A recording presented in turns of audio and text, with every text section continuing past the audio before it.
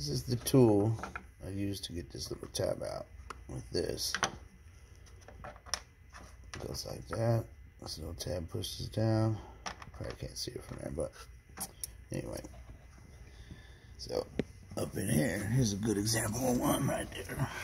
This is for get back, get back now, Mr. Nosy. See right there. It pushes down in. Supposed to go smooth, but anyway. And it pushes down in.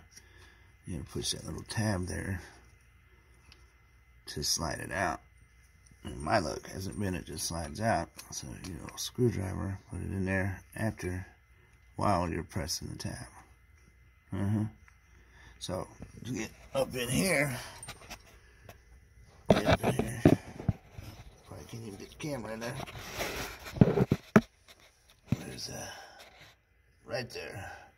That plug.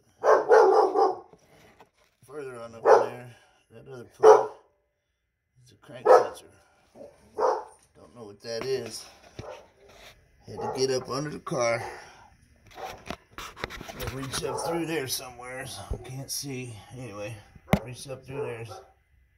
Get that plug. Switch the pick and reach around this way with the screwdriver. Because you can't get your fingers your hand through here.